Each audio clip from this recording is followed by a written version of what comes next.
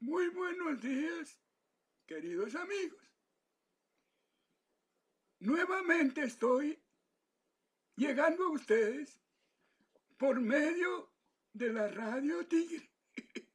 bueno, para leerles algún artículo de Facundo un poquito menos complicado que el que me tocó la vez pasada, porque casi la regué. Facundo me dijo, bueno, no se te puede dar baja porque tienes necesidad y tienes que ganarte algunos chavitos. Bueno, entonces me puse a estudiar un poco en todo este tiempo y sí, tengo bastante checa todavía, aunque algunos me dicen totoreco, ustedes lo saben, pero yo soy el tontón, que no se les olvide. Bueno, vamos a empezar la lectura. Y dice, con la edad todos perdemos la agilidad en el cuerpo material, pero si hemos ejercitado lo más importante, nuestro cerebro, continuará trabajando quizá con menos velocidad, pero sí con más acierto. Si, nos dedicamos solo a las farándulas carnales, llegaremos a esa etapa siendo viejos moscardones chupasangre, y si iluminados por el conocimiento bueno, seremos cocuyos de luz. Ese es otro tema que hemos tocado. Bueno, dice aquí, en varias partes está dividido esto. Uno dice, tus movimientos ya no son muy, eh, ya son muy lentos, le dijo un un muchacho a, un anciano. Y por lo tanto, más seguros, le contestó el anciano que no era un pendejo. Qué bien, así se contesta, hijo.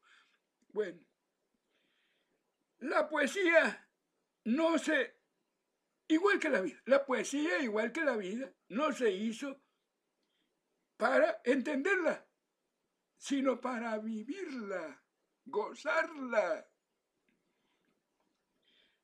la número tres dice, ¿qué es un mandatario?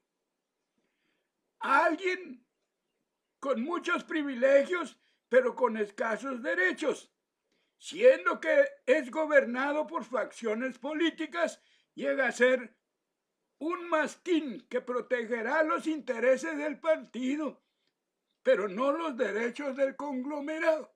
Ahí es donde Facundo se gana algunos enemigos, pero como dijo, la verdad duele, pero cura. La mentira adormece, pero pudre. Bien, vamos a la parte 4.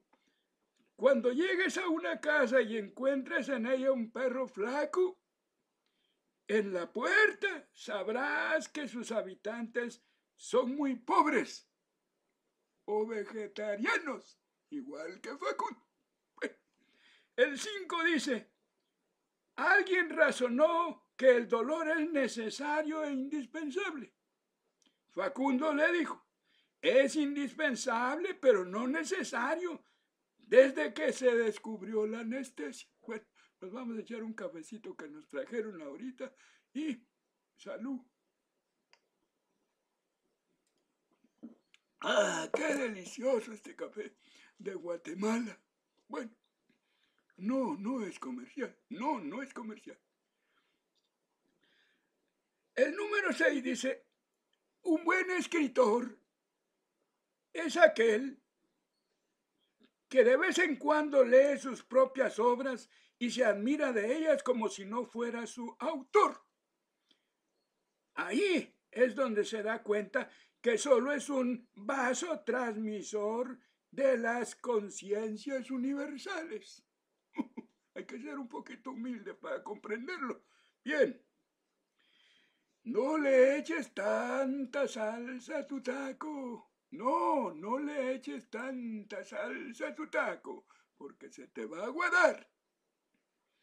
El hombre evolucionado en las ciencias, estudiando la vida animal, debe tener conocimientos prácticos ya y agradecer a los seres del planeta, porque gracias a que vio algunos pájaros volando, empezó a estudiarlos. Y ahora imagínense, ya vamos hasta Júpiter.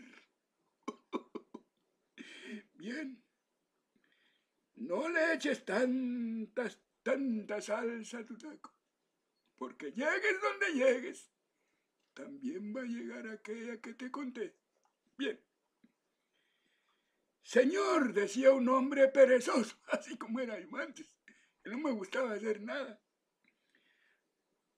Le decía al autor de la vida, Señor, Señor, le decía, gracias por el campo de labranza que me has dado, por el agua y el sol que hará crecer las semillas, por el oxígeno del aire que todos respiramos. Nada más se te olvidó darme la herramienta, le dijo. bueno, vamos a ver que sí. Darme la herramienta, le dijo. Una voz que hizo estremecer su corazón de pronto le gritó. ¡Ya te las di, vieja! Para usar solo tienes que sacar las manos de tu bolsillo. Para usarla, solo tienes que sacar las manos de tu bolsillo. Así. Y empezar a enseñar esos molúsculos. Muy bien. Aquí, pues, no se escribe nada, señores, y todo sale de una manera tan sencilla que verdaderamente bueno, a veces nos da pena porque hay, hay personas demasiado inteligentes que dicen, bueno, ¿y estos babosos quiénes son en realidad? Y empiezan a buscar en, el internet quién es Facundo, quién es José Batres, eh, perdón, tienen un título. Este tontón al menos es licenciado en, eh, eh, en. Bueno, fui, fui.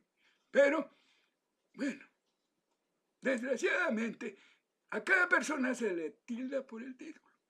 Y estaba lloviendo que hay muchos que se la llevan de fresa, dicen, yo soy el doctor Chichirchichirchiqui. ¿Por qué no dice, yo soy el tal y tal y bueno, tengo un título de doctor que pongo a las órdenes de ustedes. Ya no sigo molestando porque las cosas se están poniendo bien babiecas. Así que hasta la vista, amigos. Nos vemos, nos vemos, nos vemos.